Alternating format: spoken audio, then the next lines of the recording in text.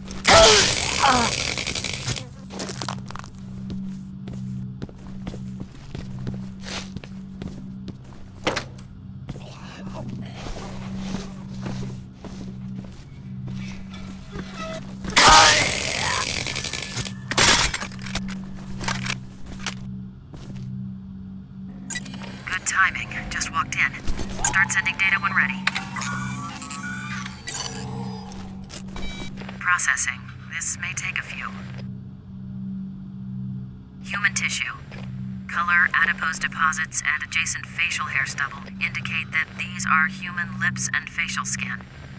Also, I've run the faculty list. The gym teacher at your location during Carl Anderson's tenure was a man by the name of Samuel Tibbets. And before you ask, yes, Tibbet's medical records provided his blood type. It's a match with the facial tissue.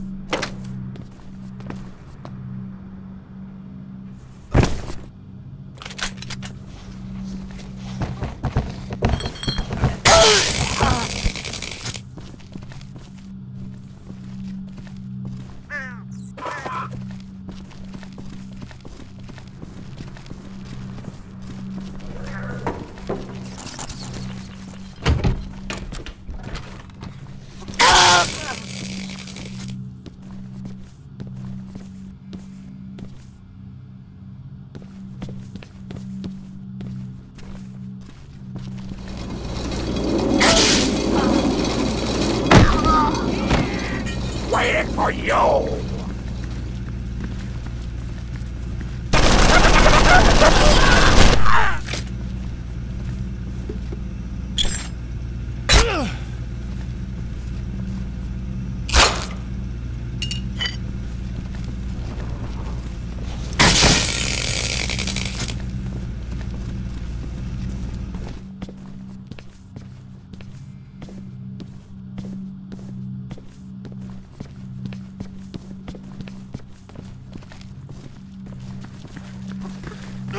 来人啊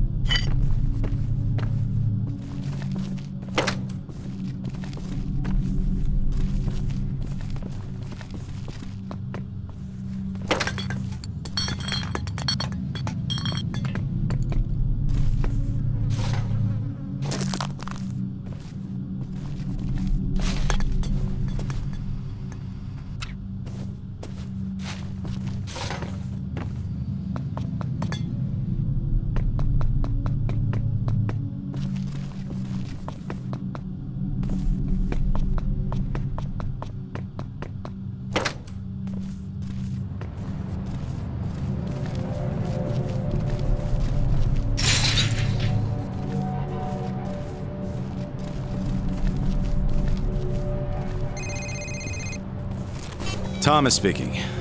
Thomas, I just wanted to make sure you met me out front when we were done. I didn't want to interfere with the investigation, but...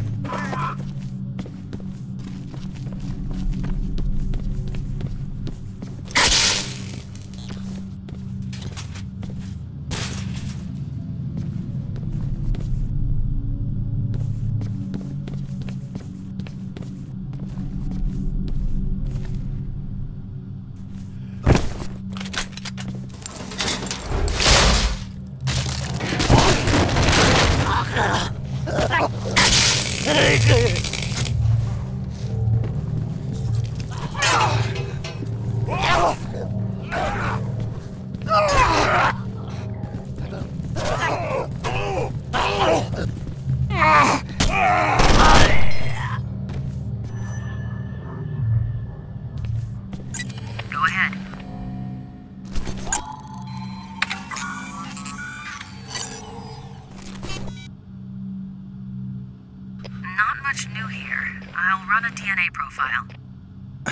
Trail just ends at a bank of lockers. Thomas, have you looked inside?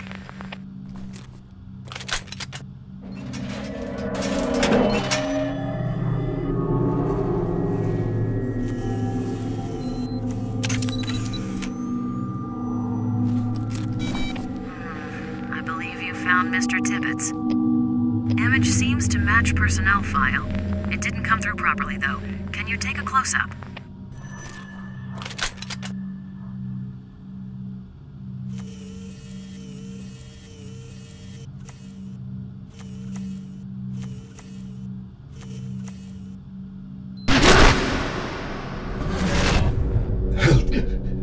Help me.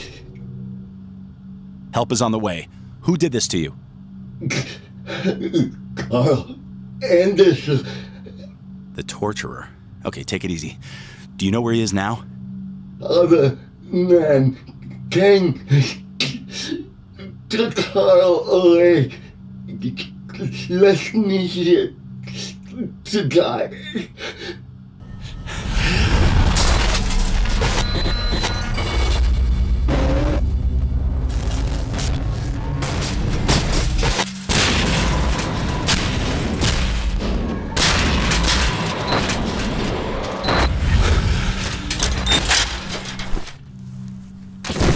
Rosa, send an EMT immediately. Cancel.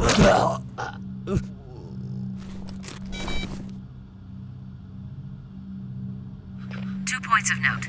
DNA taken from the hair matches current profile we've established for the guy who's been stalking you, the guy we're calling Serial Killer X. Also, there are some additional organophosphate particles present. Similar to the pesticide we found on the matchmaker's neck?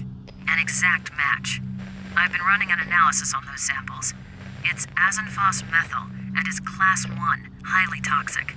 Was previously used as an insecticide for all sorts of agricultural crops, now banned for domestic use, and can only be used commercially by permission. This particular formulation includes some other trace chemicals and can be matched to a brand name called Applewell. I've put in a contact to the company to see if we can get a purchaser's list. Applewell. Apples. Yes, as I said, it was used on all sorts of agricultural crops. Apples would be one of those. Yeah, the town of Briar's pretty rural. Any chances there's an apple orchard up there? I'll get right on it.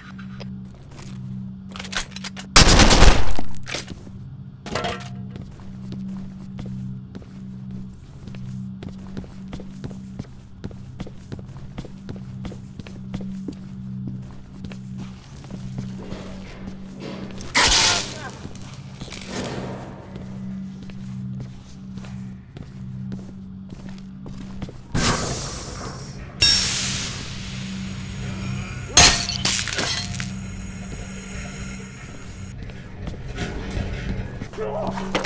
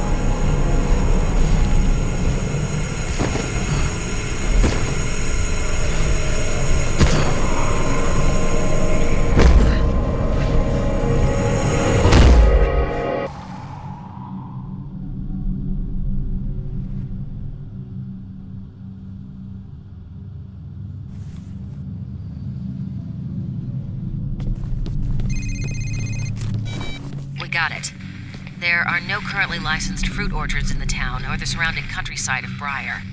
But there was one once. Apple Seed Orchard, just outside of Briar on Route 4. In business for 40 years, but closed its doors just 10 years ago after a tremendous outbreak of apple maggots. The orchard never recovered. Curious, though. County deeds show it's owned by an out of state real estate firm.